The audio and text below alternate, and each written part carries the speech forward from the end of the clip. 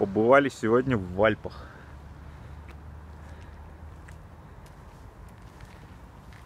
Было яркое солнце. Потом проливной дождь.